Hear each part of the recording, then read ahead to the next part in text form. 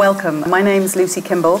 I'm director of the UAL Innovation Insights Hub, which is a sort of research hub, uh, research group based here at King's Cross.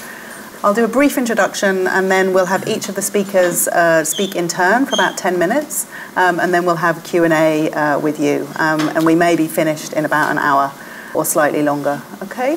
Can I just check who here is not from UAL? Okay, so we have a few external people. Thank you. The other thing I should mention is that the, we're audio recording this so that if you do ask a question later, your question um, will, will also be recorded. Um, so if you're not happy about that, um, don't ask questions. or write it on a piece, write it on a piece of paper and, and pass it to me. Okay.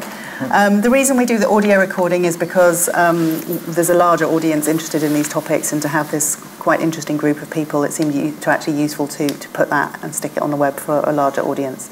So um, hopefully you've had a chance to read the introduction that we put online earlier, so I'm not going to repeat that. I'm just going to briefly pose the question why are we even talking about business models um, in an art and design institution?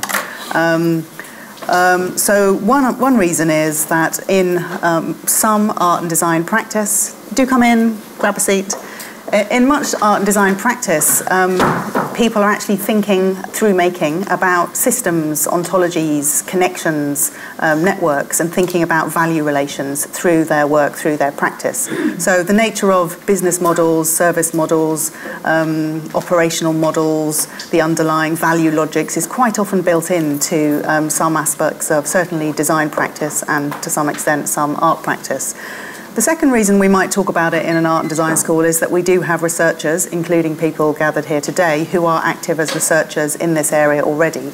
Um, um, and then the third reason um, is more um, uh, sort of an occasion is that UAL um, is one of um, 11 partners in a European funded project which is called Creative Lenses, which is over four years um, exploring but also trying out uh, new business models in arts and cult cultural venues across Europe. Um, and if you want to know more about that, look online um, for creativelenses.eu um, or look at the UAL bit of the website uh, or come and talk to me afterwards. So, um, I'm going, to, start today with Jamie Brassett, who's going to um, give us a philosophical perspective on business models. Um, Jamie, as you may know, is a reader in philosophy, design and innovation here at CSM, and for many years has been the course leader of the MA Innovation Management um, which I would say as, a, as, one of the few courses in CSM, which uh, in UAL generally, that is actually explicitly thinking about um, current and future business models and how those might be changed and disrupted. So uh, I'll ask each, I'll introduce the other speakers um, ahead of when they speak. So if we could turn now oh, to straight, in. straight, into Jamie. Okay, thank you very much. Thank you, Lucy. Um, when Lucy asked me about this uh, this, this topic for this, this talk this afternoon, I said, yeah, I'm happy to come along and chat, but you know what you're going to get from me? You're going to get some sort of philosophical stuff. You know, I might talk about ontologies of business models. Like, yeah, yeah, yeah, okay. Then I was like, oh, right, okay. So now I've got to try and talk about the ontologies of business models. Um, I think I'm, I think I'm going to uh, do so in, in three ways, or, or by, by focusing on uh, three different things. The first is to uh, talk about a model. Uh, what is a model? Um, the next, I was going to think about business. Um, and then, if I get a chance, I'll talk about um, imaginaries. Um, and maybe weave in some stuff about uh, innovation or innovation management as we go along. Um, but if I forget, I'm sure there's a few people here might ask such a question. Um, so first, I, I, I, think I'd like to talk about models. So um, I'm wondering, uh, what is the ontological status of a model? And when I say ontological status, I'm thinking, uh, what is it in reality? What is it, the nature of its existence? Um, if we say that we are modeling something, um, we are making a claim about the relationship between the model and the thing modelled. Um, and I'm not entirely sure what the nature of that relationship is, because very often um, the uh, the model exists in a different type of reality using different types of material um, than what is being modelled. And so, what we have with the sense of a model is that there is something going on somewhere um, that we are supposed to be able to read or follow in such a way that uh, we can then translate or express or um, understand in a completely different area. And we are meant to uh, we are meant to know, or we are meant to be able to uh, work out how it is that our our work, our creativity, our insights, um, or our activities in one level of reality is meant to have an impact in another level of reality.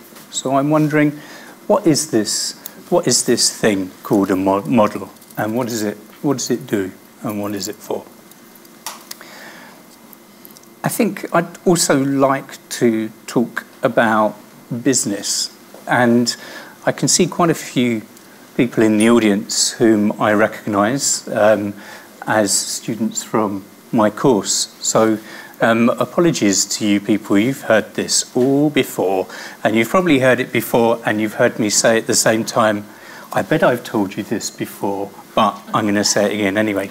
But I, many of you have heard this before, but I'm going to say this again anyway. So, business. What is a business? Um, I'm quite interested in, as some of you will know, I'm quite interested in this idea of a business. Um, and it's a phrase that comes from the, the, the late 17th century and uh, describes a business as a concern or even a going concern. And I think Lorna, with your um, accounting background, will understand very well what, um, what accountants mean when thinking about um, a business as a going concern, and you'll correct me if I'm wrong, but I think it's something like um, a, a, a, business in which will not enter liquidation within the first or within the next year.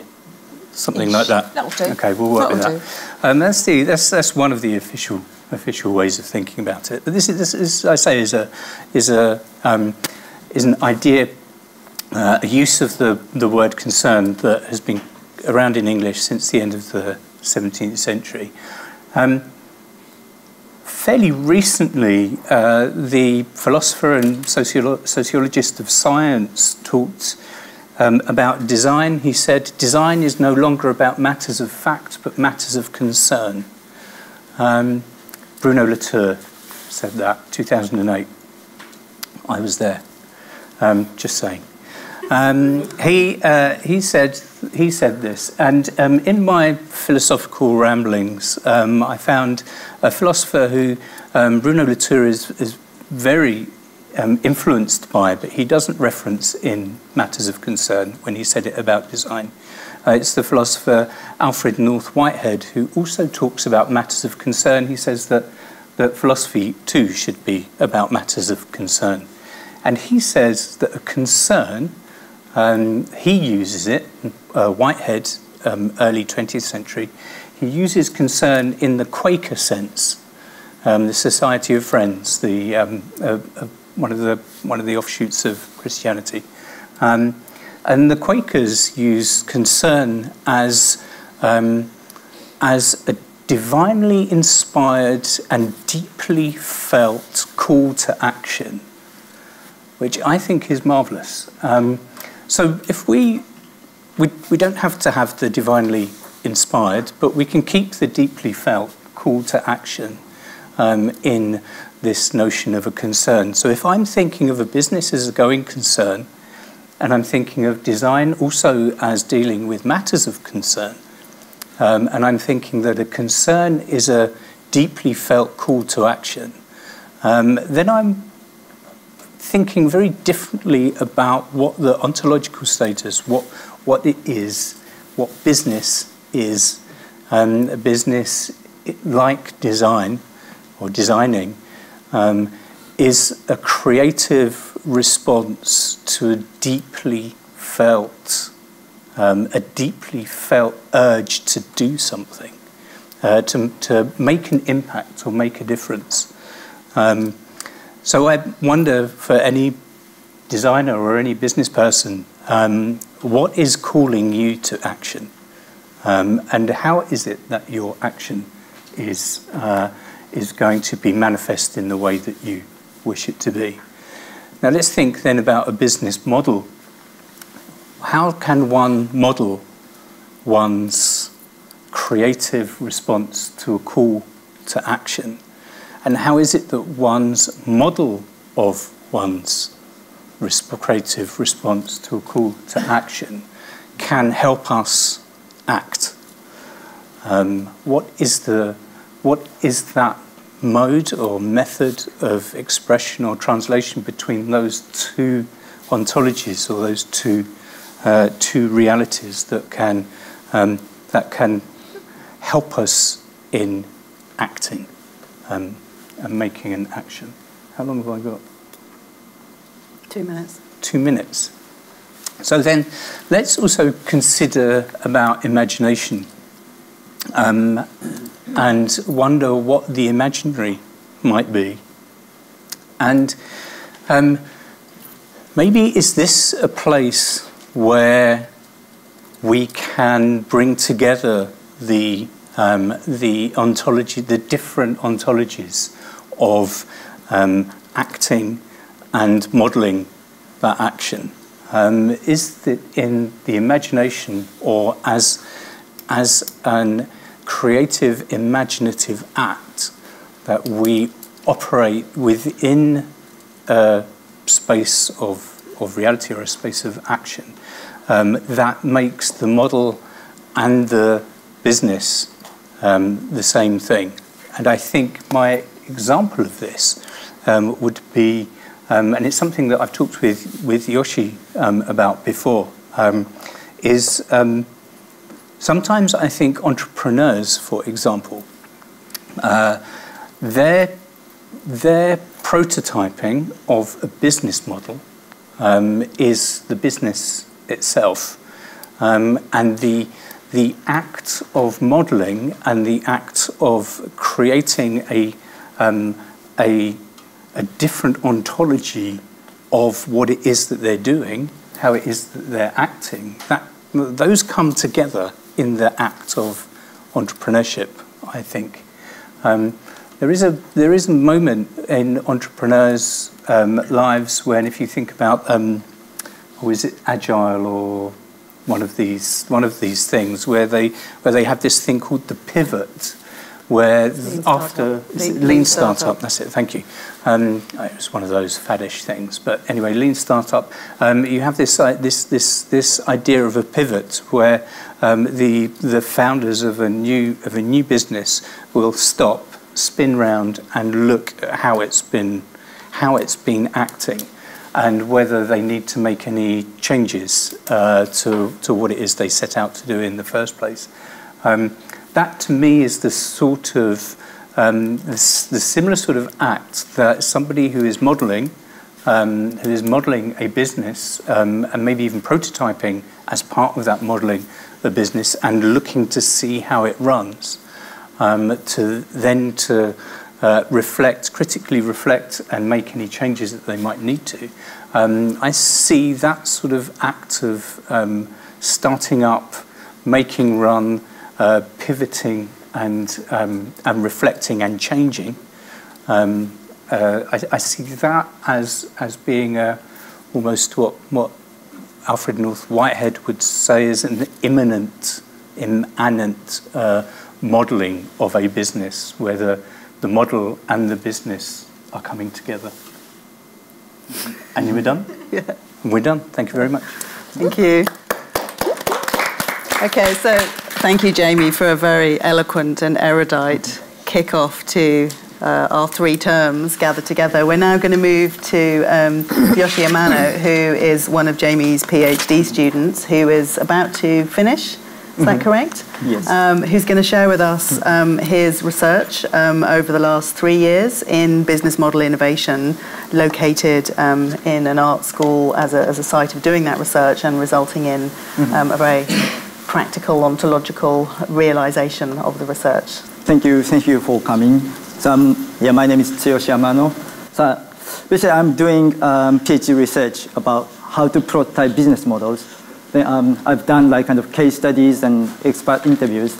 Then, so I, I sort of made, I, I synthesized findings into a kind of four dimensions framework of business models, uh, business model prototyping. So there are purpose and process and engagement and context.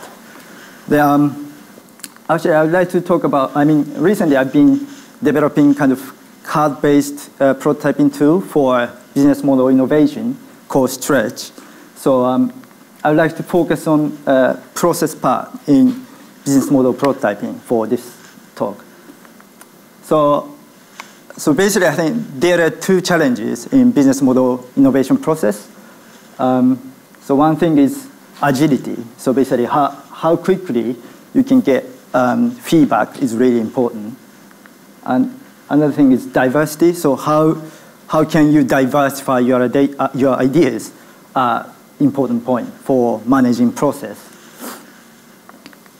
So um, I think it's, I think it's best way to explain the point of these things, uh, comparing uh, business models with a business plan. So basically, for business plan, you, you have to make kind of detailed, um, detailed business plan. But I think it's really great. But in a sense, it takes time, and it's, it takes time to get the feedback. But if you use business models, um, you can probably the business model is much simpler than business plan. So you might miss some details, but you can you can make uh, you can represent your business in a short term. Then you can get feedback um, in a short time, short, short time, and you can sort of explore different possibilities. Then I, I think for business model prototyping or like applying design approach, another point is like diversify, diversification of ideas. So you can, um, you can represent your ideas in a short term, but at the same time, you have to diversify your ideas and converge uh, findings to identify what's the right business models. So I think now business model canvas is really popular too. So it's, um, it's much simpler than like making business, mod, uh, business plan so many people use these tools to make a kind of represent uh, your business. So actually, I used these tools for business modeling workshops many times, and um, actually, I really love that tools. But um, I think it's it's really good too. But for me, um, I always uh, encourage the participants to use multiple business model canvases and actually, some experts also say, don't, don't stick to one, one idea or one canvas. It's better to explore different ones. But somehow I feel like it's quite difficult to convince the participants. So I sort of map out like business model tools. Then I think, well, most simple, um, most simple sort of tools is like kind of list of examples. So some, some lists include like 80 business models and stuff. Then another one is like a framework. So business model canvas is basically like a framework. Then another, another shape is like uh, network models. So it's more accurate, but it's slightly more complicated. Um, then actually, um, sort of what I observed is um, even business model canvas might be a bit complicated for like business beginners and um, when, when you explore business models. I think it's really good tool for analyzing or like identifying what's the most um, uh, just assumption, but um, sometimes it takes time to um, explore different ideas. Then I, I think kind of list of examples are a bit boring, so it, it takes time to read. So I thought here, here would be some opportunity for design approach to contribute in, in that space. so may, sort of simply simplified and kind of engaging tools could be useful for um, business model, uh, business modeling. So that's, that's why I made uh, Stretch. Um, so I think business model canvas has nine building blocks, but if you go back to the definition of um, business model by uh, the, the author, I think it can be just divided for four elements. So what's the value of business models, and how to create the value, and how to deliver the value, and how to capture the value. So capture the value means how to monetize the value, basically. So we, we made a kind of basic formation of business models for stretch into four elements. Then actually there are many patterns, but we reduced, reduced it to 12 patterns. So it has just 48 cards. So I think uh, there are many ways to play, but so far I think play like a Uno, playing like a Uno is the best way. So basically each player has some cards and put one card, one, one card each and kind of dis discuss what the business model story behind the business models.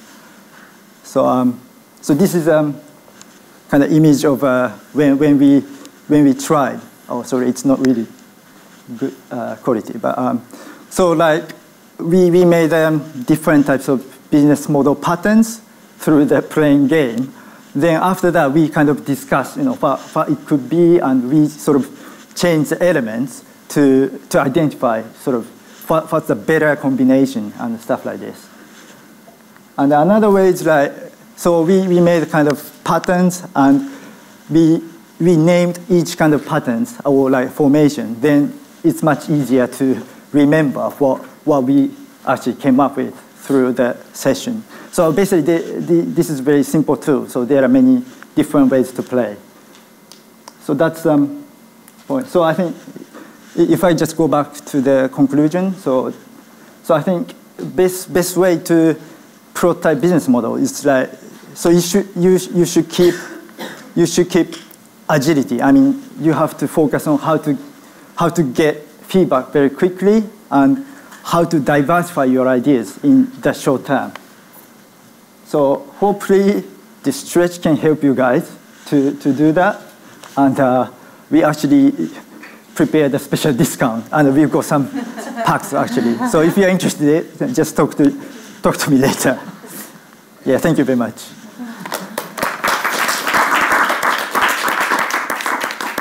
Okay, great. And thank you. Um, and Lorna, do you want to come up? I'm going to now introduce our final speaker. So Lorna Dallas Conte, who is also uh, works here at CSM um, in um, MA Innovation Management and also MA Applied Imagination in the Creative Industries. Um, she's an experienced business advisor and creator of various programs for the creative industries and has worked at a number of uh, organisations such as the Craft Council and the Design Council and the Arts, and Arts Council England. So extremely familiar with the creative and cultural industries and bringing uh, business thinking into that and is going to share with us some of her recent work um, working with a new transdisciplinary arts organisation who is trying to develop a new sustainable business model. I hope that what I'm going to say will overlap and link in with the other two speakers. And I'm also going to be quite guarded with what I'm going to tell you because one of the reasons that you have a business model or a business plan is to communicate to other people. And some of the things that I'm doing are less formed and less ready for publication yet. And some of it is a distillation of a practice that goes back nearly 50 years. So um, you're getting quite a um, distilled version in 10 minutes. Um, I'm also going to expose myself. This is uh, not like that, but like this. Um, this is an event that I held in May 2006, and what you're looking at is an example of creative practice. Looks quite exciting, quite impressive. There's an audience, there's some nice colours, there's a bit of fire. Um, actually, that's not what you should be looking at. You're supposed to be looking at a delicately turning um, maypole of Indian rope, lines to the sky, rotating beautifully. Unfortunately, the um, windscreen wiper motor that was to engage the slowly circulating ropes went up when the guy that you can just about see here set fire to it. And we ended up with a towering inferno, which was more impressive than we'd intended. But it's a really good example of a plan not going to plan, and yet you ending up with something even more impressive. And um, I could go on at length, but I think that's what I want to talk about. Um, so I would also like to qualify the fact that I'm not a pure academic. I actually come from a professional practice background. I have an entrepreneurial and creative family. Um, I've got an associate of the Chartered Institute of Bankers, so I turned right when I went out of school instead of left. I'm very proud to have an MA in Design Studies, which is the previous Applied Imagination version. Um, I've also set up and run a number of different businesses of my own, so using my entrepreneurial um, genetics. I've been a designer maker. I've been a director of 40 people in a bookshop that was an independent bookshop before social enterprise was known or understood. And um, I've set up a gallery, created a company that was a consultant to the Design Council. I'm currently a freelancer as well as an hourly paid lecturer in universities. And I've also been an executive director of a charity that was in the arts sector. So I've done quite a few different types of business model. Um, I've also been a business support person, um, both within the bank, which was an international bank, but also within a range of different publicly funded um, uh, entities such as Solutech, Business Link, the Design Council, the Patent Office. I've done some work for them. In fact, I was responsible for the research that set up artist resale rights. Um, I also created a program, I was the first creative industries business advisor for the Southeast, and it started off as a small project, which was where our original photograph came in. I'm also a mentor and a coach. So I've got this really odd background that doesn't like to stay still very off, very long, but also goes quite deeply into what I do. So I just want to know how many of you in the room have actually written a business plan. Oh, great, good. and um, how many people use business models? Okay, fewer. That's interesting. Okay. So um, I've written a number of different ones. A simple one was the gallery, which took me a few hours to write um, to raise an overdraft back in the day. And um, when I was running the charity, I wrote a 100-page business plan for the board. Um, I've also written and supported people to write business plans through the CBAS project, through enterprise hubs, and through different arts development areas for local authorities. I'm trained to evaluate business plans, and I've also tried writing with new language for that project, um, a different form of plan to try and get round creative practice needing different languages. I've used Business Model Canvas and um, I've taught it as a part of an MBA at UCA. But I've also had feedback like this from one of the Hot House participants. Um, I've been working with Crafts Council Hot House for about five years now. And this isn't untypical of the sort of feedback I get. I get amazing, it was really wonderful, and then people really struggling with the language. So I feel as though we're still trying to pin butterflies, that we're trying to put a language set onto an activity that doesn't sit well, that even the notion of business is alien to some people with creative practice. And so I'm quite interested in how we might be able to do something about that.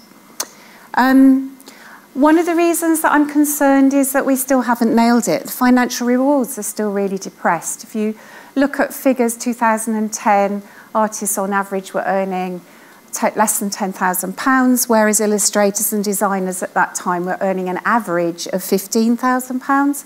I've just been to a conference in Thanet where they're celebrating the regeneration, and they very proudly said that they've got a number of new businesses, but people are still in the arts sector earning under £15,000. Um, I didn't think that that was something to celebrate. I, I thought that that was something that looked a bit more like exploitation to me.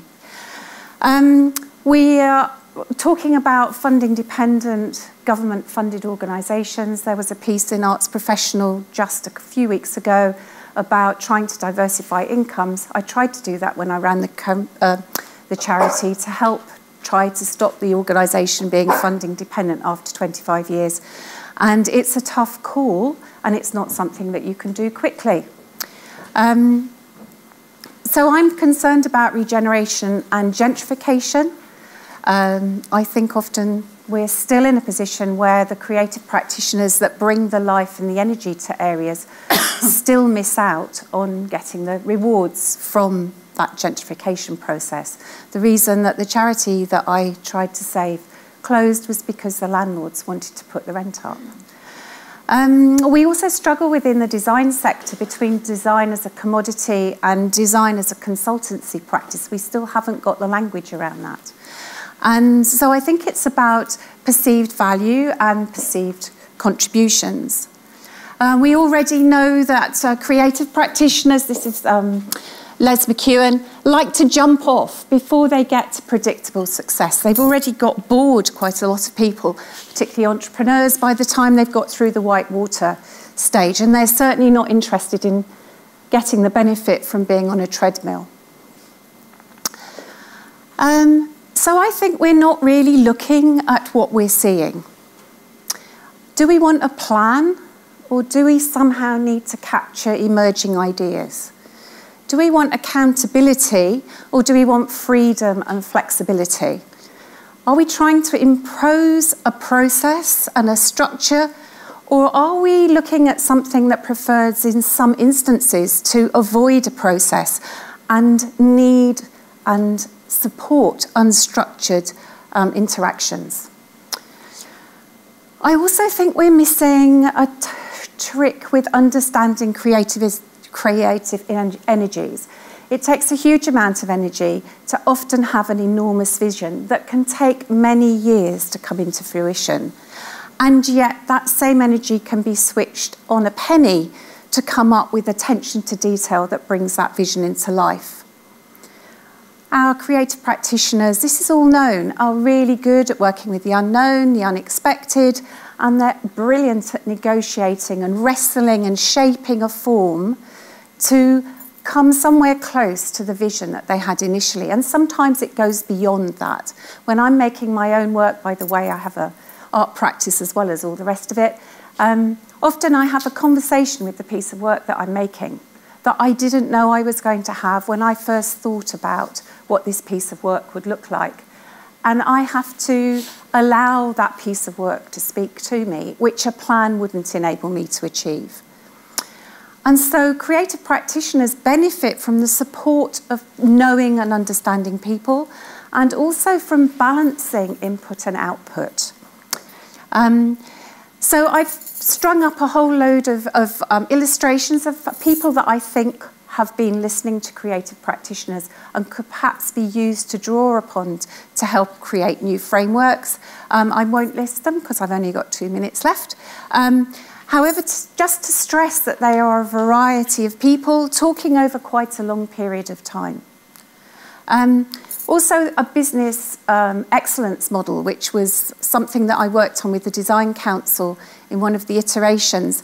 I think creative practice doesn't measure up to many of those results in those type of boxes. I think often the creative practitioner is both their audience as well as the maker before the object or the thinking or the process, whatever they're coming up with, goes out into the wider world. And I don't think we quite catch that in, in helpful ways. Um, I think if we return to something like Maslow, we also might get some clues because we're splashed across Maslow. We don't operate um, in the layers. So I think although we're beginning to, um, this is Charles and Ray Eames, if you don't recognise them, the furniture designers being pinned by their own furniture. I think we're beginning to be able to articulate some of the benefits of being the butterflies, but I don't think that we've perhaps got the language that is capturing that totality and exploiting and, and taking um, more use from. So I'm proposing a new framework um, that really looks at purpose and value, very much based on the role of research and development within creative practice. It's something that's often squished by funding.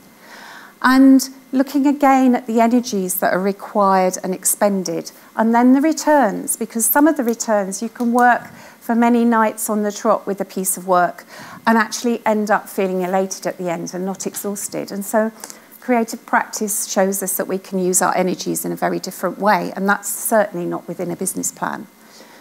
Um, I have another list of references that I'm going to be using in the piece of work that I'm working on at the moment, and they're really worth a look. Some of them I give to my dissertation students, uh, and a couple of conferences um, that I've been to recently, and one that I'm speaking at on pedagogy um, shortly.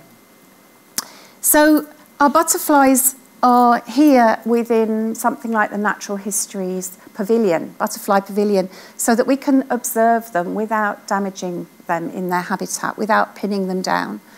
And so, what I'm creating is a new residency program which will observe creative practice in real time. So it will have an artist question. It will probably combine traditional and new technologies. And it will look at the way that creative practice transfers knowledge between creative practitioners. And will look for new frameworks that will quantify these different languages around purpose and value and how research and development brings that into fruition. It will also establish the byproducts which seem to go um, to one side. Twitter, which is very much in the news at the moment, was a byproduct of the technical company that brought that into being. I'm also quite keen on, on what's considered to be developing capacity. I would love that we repositioned where creative practitioner exists within society rather than keep trying to take their processes and put them in other areas. And um, my aim is to create sustainable practice in new ways. And um, some of the work that I'll be doing, Ries, the lean startup that was mentioned earlier, also Reeves, who, Martin Reeves, who talks about an immune system and development evaluation. And just to take something from Linda Hill, I really am interested in the creative practitioner not benefiting from their ability to be a creative resist. We need that creative resist and we need the professionals that are capable of doing that. And this model explains why. Um, and so here's another one that I prepared earlier. We did actually get the Indian rope trick working the next time we did it. And that was a 15 foot high flaming snowflake in the middle of December, which was quite a fun thing to put on. And it's that sort of thing that I want to be able to do metaphorically. I want people to see the difference. Thank you.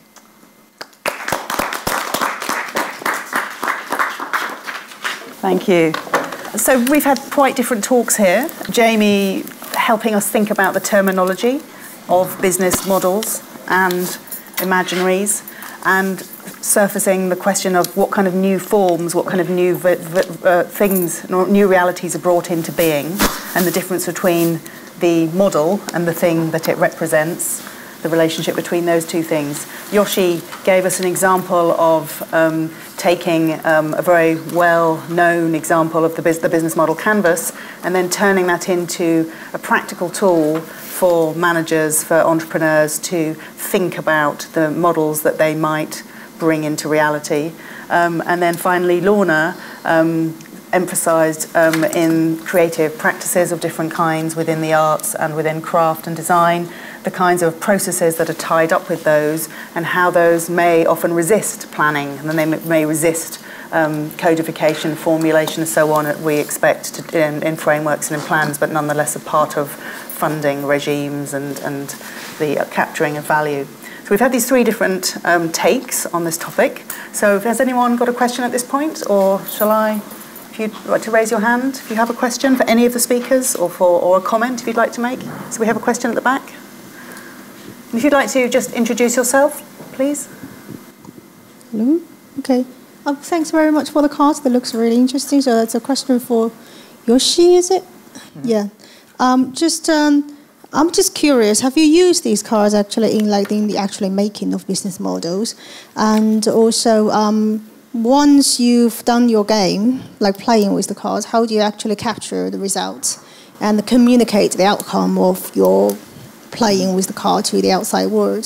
The, the tool was used for hackathon already, but it, it wasn't really exactly like making business models, but la, rather kind of um, studying about like what's the business models and something like this. And uh, actually, we, we did a kind of test sessions many times, and then yeah, I, I had a kind of similar questions how to how to record what you know what, what you made. I think the one way is um, like just taking pictures of each formations, and um, I think best way is to, to, to name it basically. Um, that's the so far it's the best way. The, um, I'm yeah I'm still kind of exploring the way to kind of record in a best better way.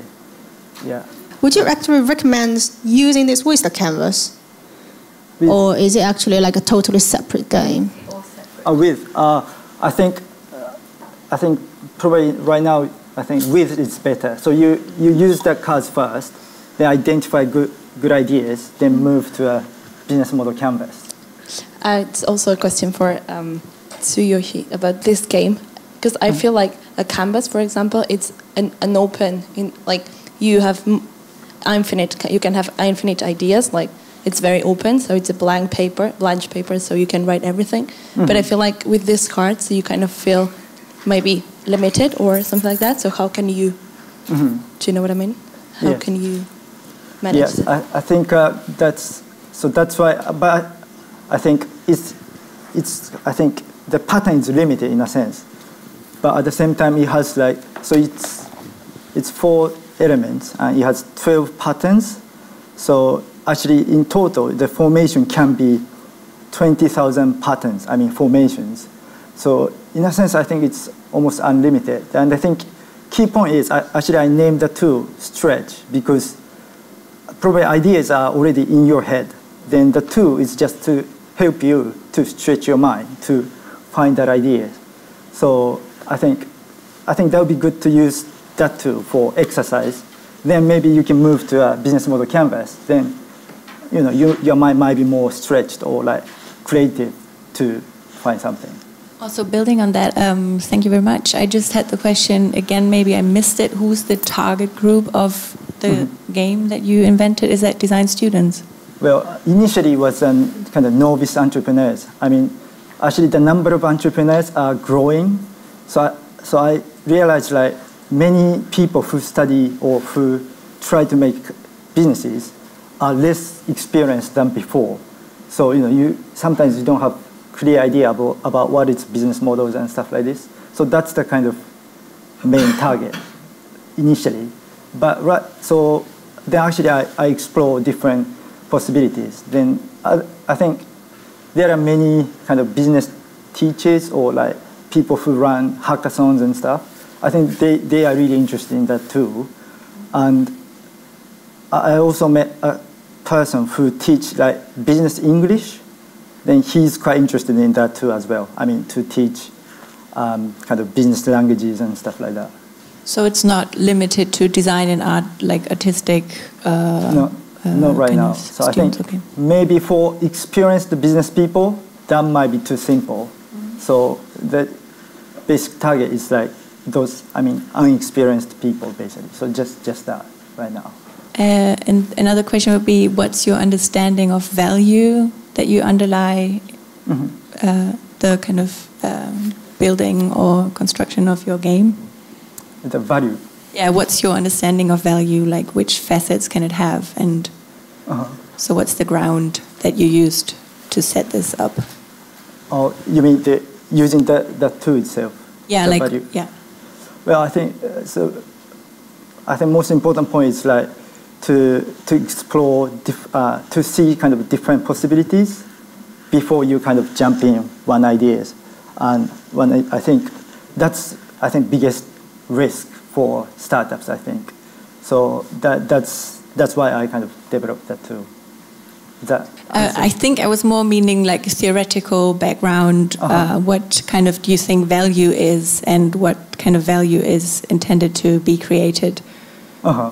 Because there are, of course, many facets. There's economic value, social value, cultural value, economic, um, environmental value, all kinds of value. So, Oh, right. So I thought that it could it could have like some, some social value to to support like um, support novice entrepreneurs to develop their business. I mean, even if they don't have like deep business background or like knowledge.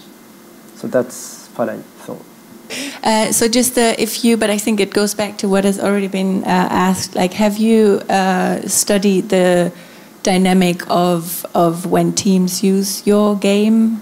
Like, because I think context and the process of playing it mm-hmm. Uh, has a huge impact on the outcome. Because I experienced myself that when you play games mm-hmm. in certain processes, it's quite limiting. You kind of focus on, okay, do I do is this in the correct way? What are the rules and mm-hmm kind of like really narrowing down to small cards. Uh, mm-hmm. I think it's very crucial to also look at the context, how you play a game to kind of have mm-hmm. creative mm-hmm. results, if you mm-hmm. want to say so. Right. I think probably, I think you be, better situations like there is some facilitator. So one of them have uh, good, good knowledge about you know what's the business models, and then that person can encourage you know how, how to speak. And uh, but I think in a sense um, one advantage of using that tool is to, in a sense, I think, force the players to, to speak up because they, they have to use a card.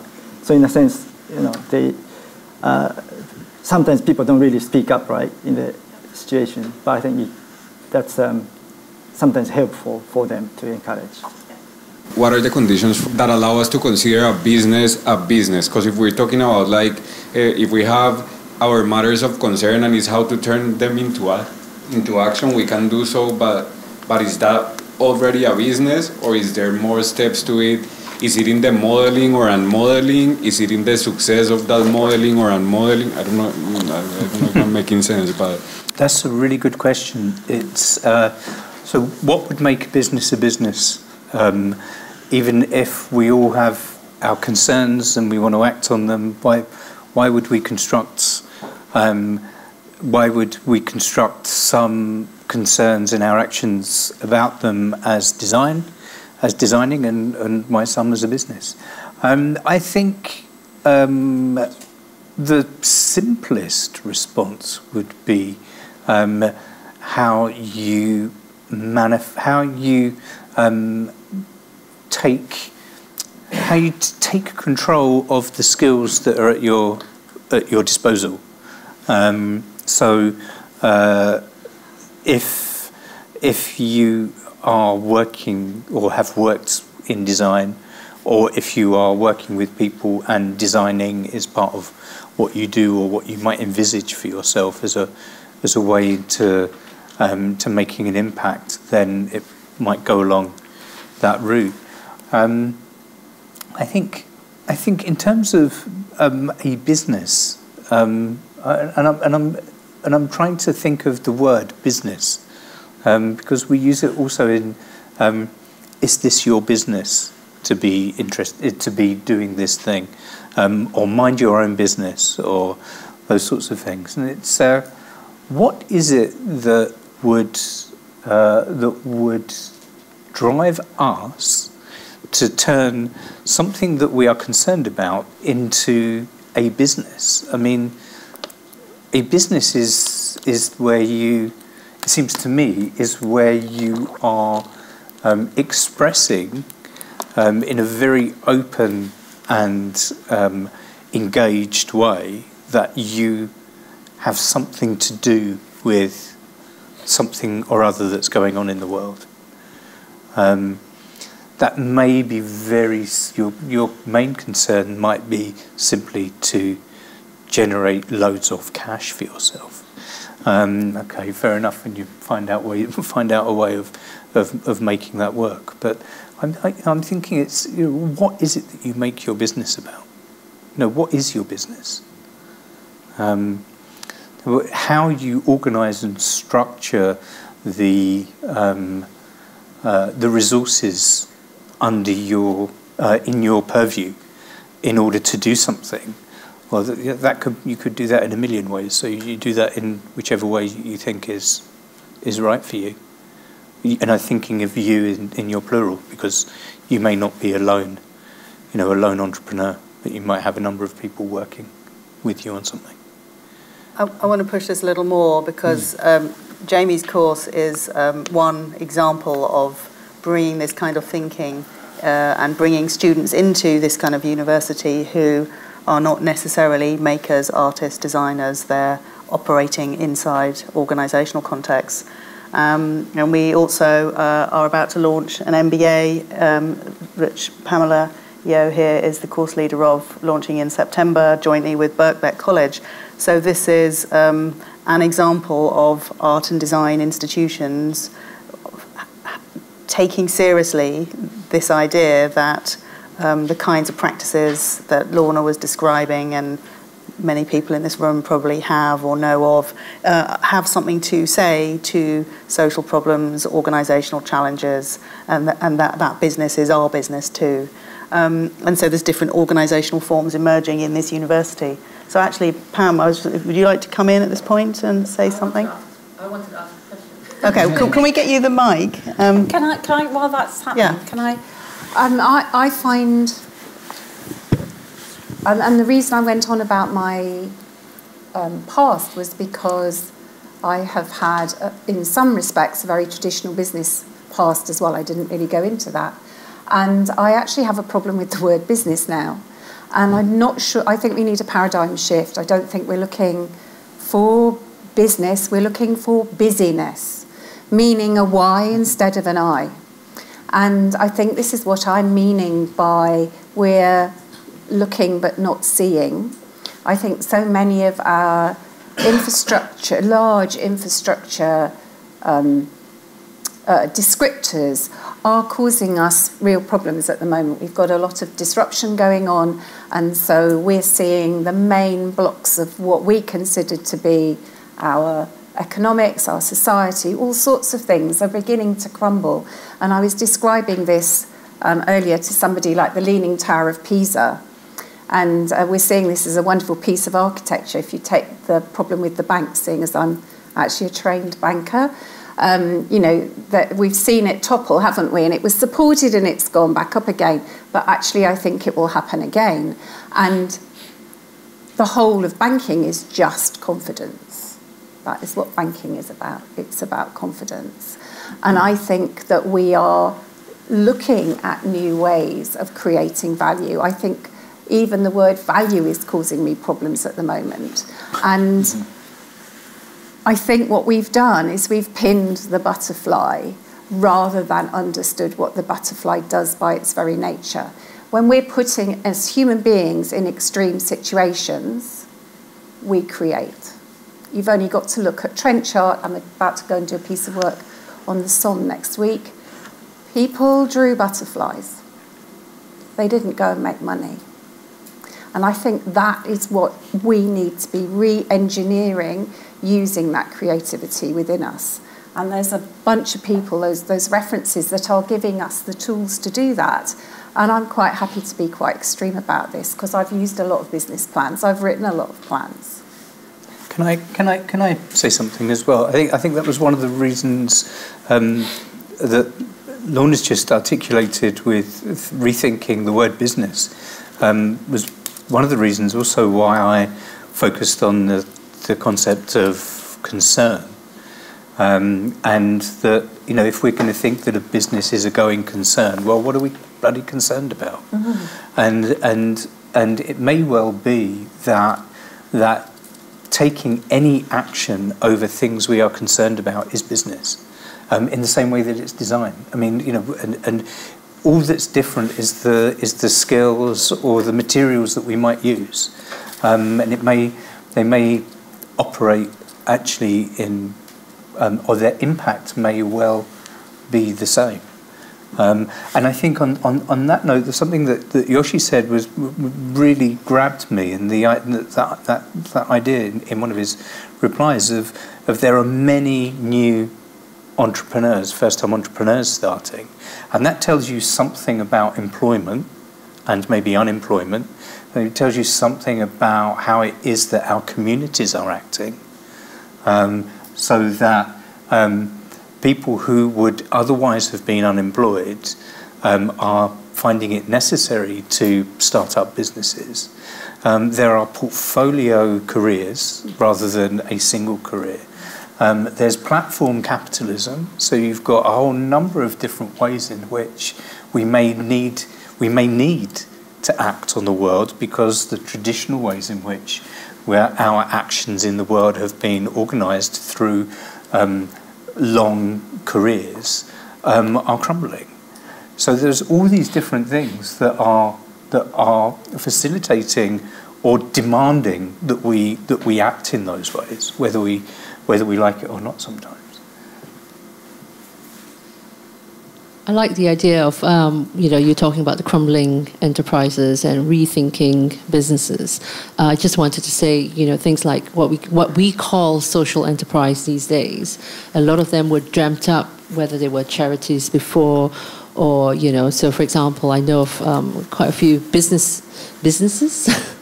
um, uh, in Greece, for example, and you kind of look at Greece and kind of think it's a country that's going bankrupt, it owes the IMF or whoever more money than it can ever generate in the next three generations or something, and yet they're still thriving. And uh, I had the privilege of going there uh, for a week last April, and uh, we met up with uh, businesses, and they were created out of nothing um, based around social enterprise. So one of them uh, had this idea that they would use olive oil generated from olive um, plantations or vine vineyards. and these farmers were not doing much with the olives apart from just sort of like putting them in big tanks and selling them to grannies in the villages who can't afford to buy them. So they decided to repackage them. So using some kind of marketing tool, you know, branding. So all the business tools that we use, we think of as business, uh, sold it to consumers, not for a lot more money, but just you know, average money that you pay for olive, good, really good olive oil. But what they use the um, uh, uh, profits went back to uh, uh, orphanage, orphanages and uh, churches and all that that were su supporting the crumbling economy. And that was actually driven by a marketing manager who was working in a so called, as you would call, a traditional marketing business, you know, in a proper job. Um, she didn't have to do this charity work, social enterprise thing, but she did. And as a result of that, she got lots of uh, awards from the government. Um, social enterprise councils and what have yous, and and it's been very successful. But my point is that you know, the the going concern I think is very important. So whether we have this burning desire to do right for the orphanage, uh, for the orphans in, in, in Athens or something, or we want to do right for the farmers, the olive olive farmers. I think you know there was a purpose driven by that. I was just interested in how that is now termed as social enterprise rather than business. But my next question was around how much design do you think um, is thought of in traditional business? You know, you were talking about how maybe and one aim. Jamie was talking about how one aim of a business could be making tons of money. So when so, I worked for the Design Council, the work that I did there was to um, bring into the Design Council Design Atlas, which was trying to explain how to business how to use design and how to explain business to designers to act as that bridge and do that translation. And although it is understood better, the concept of design leadership, where you're consider, which is kind of where I come from, which is about considering for slightly longer than the year of a going concern the impact of all that we do and how our connections contribute to other people. And so understanding when to take value and when not to take value. So one of my references is The Gift by Lewis Hyde, which some of you may have already come up with. And that was about um, the value of something that's exchanged, even when it's broken down, can increase in value when it remains with the community and loses certain types of value when it becomes owned by one person. And I think in re engineering or reappropriating the word busy and busyness, we can reconsider how we use our time and how we use our resource and how those things together benefit each other. And it is radical early thinking that almost by using some of the languages that are traditionally used by business, we can almost go the other side of it and find that difference. And that's what I mean about, I think I've always worked as this bridge, this translator, but I've discovered that even that translation is missing something. It's always been anxious to me that I've never quite articulated the two sides. And I think that's what we could work on, that we could go beyond, which is transdisciplinarity, which is where the residency will be. Any other questions? So I've got one, which is this about the translation, and in a sense, Yoshi's card deck is a, a translation. The business model canvas is a different kind of translation. Um, an MA program is a translation. Um, residency programs that you're setting up, um, the Design Atlas program. So I, I just wondered if we might think about the role of art and design institutions or art and design universities specifically, since we're many of us working or studying in one. What is the role of an art and design higher education institution in um, creating um, different kinds of translations? Um, I would think that an art design institution um, is an is an engine for concerns, um, and and and maybe also an, an engine for um, for the production of responses to concerns. Um, I think um, maybe maybe that's true of all um, of all education actually, um, and maybe what an art design um, or an arts um, sector higher education can be is is uh, an engine for the production of of create of creativity of um, creative, um, specifically creative uh, um, expressions or reactions uh, to to what concern us or what concerns us as a um, as a as a community or a culture or a set of intersecting cultures. So, if that is right, then does the university uh, need to play a stronger role in defining its concerns and its publics? Because if the more traditional art school model, the student comes with their concern and they they have their concern, their area of inquiry, their thing. But actually, should the university guide us towards some concerns more than others? Um, I would I would urge against that massively. Um, I think the concerns that are that are um, that are expressed by the by the people that work in these institutions are the most important, and, and I, I, include students as people who work in these institutions, um, and you know those of us who've who've worked here for 22 years, um, you know our, our concerns might be rather different, and and it may it may well be that that um, the one thing that keeps me going is being enlivened by the concerns of the of the students that sort of come through my door.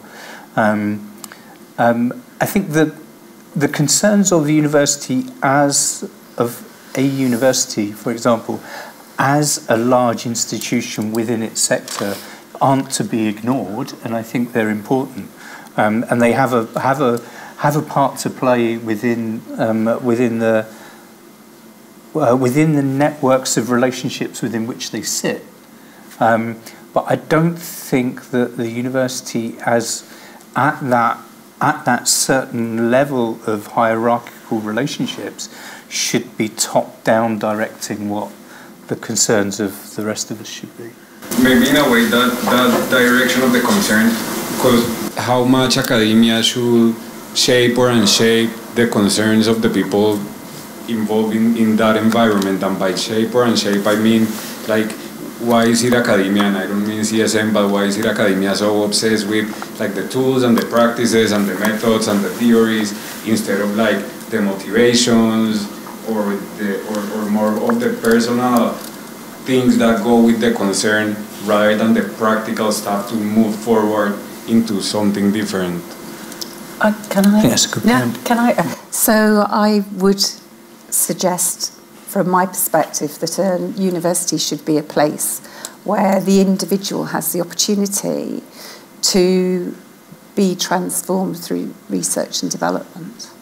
And that research and development opportunity can be like breathing. It's something that comes in and goes out through the university, but that that permeability i- is allowed in an open way to discuss things which perhaps there isn't an opportunity outside academia. And I think we've kind of lost some of that in, in this accountability that comes with funding and, and other aspects of accountability. And by having that open breathing, you're able to exchange knowledge, challenge knowledge, perhaps reinvent knowledge, and then end up with new understandings of value and purpose. So I've got quite um, an aspirational. I'm not sure that's what we live up to, but that's that's that's what I see academia as the place to be.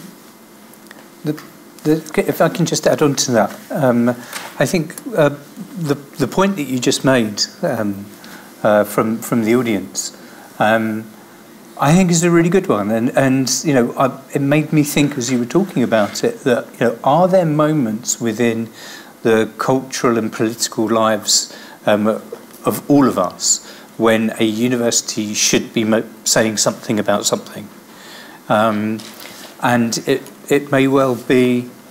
Um, I would like to think that the um, if there are important political or cultural or social um, uh, social things that we should be concerned about, that they should be bubbling up from from the people that that um, that form form the basis of the organisation. Um, it seems that there was a suggestion maybe that the way that businesses are valued is that system is kind of broken. That that businesses are valued in the wrong way. You know, depending on how we determine what the value is.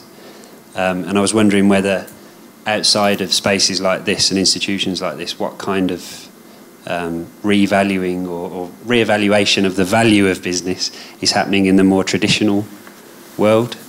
Um, I, the reason I asked that is because I, I ran a creative business. We, we sold a commodity, uh, and we got to a point where we were talking to investors, and you know that's when you took that arc of yours that you had on the screen, and you sort of reached that point, and it's all great and exciting, and then you speak to those investors, and you you're delivered the same approach by every single investor. Uh, and you know it, it can become quite patronising, where it's like it's okay, you do the creative stuff, and we'll look after the rest, you know, and then we'll all get rich together. Um, but it's it's such a it, it, it's not an attractive proposition to a to a creative business for somebody, you know, an institution or, or, or an individual to come in and approach a business in that way. So I just wonder whether outside of spaces like this, if you've encountered any sort of value, uh, like value redefinition, I suppose, uh, of, of businesses or any research that's happening in that space. So when it comes to investment, the discussion is very different. You know, it's about human capital, relational capital, things like that, rather than just what's the bottom line, how much am I going to invest, and how much am I going to get out. There were some of the references that I gave are new research on value propositions and um, how value is engineered within creative practice. So, yes, there are people looking at it, but I still don't think it goes far enough. And I'm quite interested to try to find this fineness, to, to look at. So, this object of making lots of money is so limiting. It's those other, um, which social enterprise tries to, to capture, but there's other stuff as well. And it's how, how can we incorporate this humanity into frameworks that work for the benefit of more people than the few that make vast sums of money and that aren't very good at sharing them. And how can we re engineer that? I'm quite interested in that. And the people that are looking at that, and that's what the programme will help to put a lens on? I think the the the um, the description of people or uh, cultural values in terms of capital, um, I, find um, appalling. Um, so these, these phrases like human capital, or cultural capital, or social capital, um, proves to me that capitalism has coded all of those things. Because what capital does, what capitalism does, is to code the flows of the world as capital. Um, so to talk about human capital is to is utterly to call all of us capital, capitalist items. Um, so I think a, re- a reevaluation. I love this reevaluation of all values because it's a subtitle of a Nietzsche book, but um, or thereabouts, uh, which is always good for me. Um, but um, or, or, something like that. But um, I think you know a revaluation of all of these things would need very at the, at the very first not to talk about people as human capital and not to talk about culture as cultural capital or social capital. I think Bourdieu, is it, who starts yeah. this off, I think has a lot to answer for. Okay, um, I don't know if I can answer your question, but I think there are lots of uh, successful traditional traditional businesses, so those people who are making lots of money, supposedly, um, who have things like what they call the triple bottom line. So they call them the people, the planet, the profits. So we're concerned with profits, yes, of course. We're concerned with our people, and of course, people is you and me working for them, but also our customers, our stakeholders, blah, blah, blah. And then there's also um, the planet. So whether uh, it's about you know climate change or uh, switching off the lights or using recycled paper, or actually it's also about sustainability of the business. So you know we set up a business, it's going to go for longevity. We can grow, you know, treat our people well, develop them so they don't leave. We we have the human capital within the business. Um, yeah, and I think um, for what's it worth, um, things like the time. I think the FT has a um, top hundred um, best businesses to work for, and they break it down into small, uh, you know, big categories, small categories, and all that. And if you look at the top, you know, however many you want within that particular industry, a lot of the stories, um, I guess they're biased because you know they're written by people, but I think a lot of stories are more than just oh we make you know 10 million profit every year sort of thing. A lot of it has you know elements of uh, what they might call leadership development, people development. Uh, they have people not called director of human resources or human capital, but director of people. So this sense that we are working for the people. I think Jamie and I had an interesting conversation this afternoon about HR, and and um, yeah, so you know the understanding that perhaps the director of people would be working for all of us as opposed to making sure that our business doesn't you know, break a rule if we sack you, or you know that kind of thing, which which, which is very sort of like functional. Um, yes, we can't break rules, but I think it's more than that. You know, why do we need to, you know, make someone uh, sack someone if we can sort of rectify before, you know, sort of thing. So I think there are there are good businesses out there. Um, perhaps it's it's about making sure that the value um, of arts and design schools are either made clearer or seen clearer or seen to be more beneficial to the business world. I'm not saying it's not beneficial. In contrast, I think it's very, very necessary. But for whatever reason, arts or design has been seen as, you know, of little value. People who are earning less than fifteen thousand pounds is seen as a point of celebration, is, is is something to be shouting about. So, I think it's it's about that. Okay, I want to end with a final question for anybody, uh, which is several people, that is, not just one. Why, why are we talking about business modelling? Were we talking about it 10 years ago? Not so much. Business plans, yes. Why business modelling? Why has, that, why, why has this become the focus? Has anyone got some thoughts about that? Because everything is changing all the time. We're living in a world of uncertainty. but wasn't it 10 years ago? You know, dot, go back to the dot com time, people would have said change, uncertainty, new technology, blah, blah. but we weren't using this, the term, we weren't reaching for business models in quite the same way. Peter. Yes, uh, that was also one point I was thinking about. So when I was a student, we talked about sustainability from cradle to grave. We talked about responsibility uh, for the planet and uh, for the society. There was a business issue to get a job at the end of the day and make a living, but today everything is really um, uh, breaking broken down to uh, financial terms and condition. And uh, after the Lehman Brothers crisis, everything is now to be quantified, and I think uh, even the creative part is to be more and more quantified and breaking it down to, to business and to make a value proposition rather than doing it sometimes for fun is not always a value proposition, but you have to find a value behind everything to materialize everything. So I think this is quite a sick development to some extent on how to move against and find alternative rules and responsibilities within the uh, university of, creativity is, I think, one of the major cores for the society. There's two sides of it, and it's one like finding meaning or value for whatever it is that we do, and the other one is like profiting because we all live in the same capitalism or capitalist world, and we need to like kind of to, to say it in a way thrive. And it, it wasn't different 10 years ago, but probably the speed is quicker and, and the need to see result results are, are there. So we're like constantly trying to model a business out of and it's and, and the question is weird because for me it's like it's not the case. I'm, i'd rather stay away as much as possible. Like i'm struggling with the businesses and i don't like oh no i don't want businesses. I'd rather like do i don't know paperwork or yeah i don't know crafts at home or something like that instead of running a business. But but we're all very like it's it's a mindset nowadays in which like you have to if not like you're failing. It's like this idea that if you're not like a business person, then then who are you? I think it is a fashion, like a framing that just meets needs or desires of like our entrepreneurial society. And the good thing about it is probably that it's it can be shaped, so fashion can change. And I think uh, we have.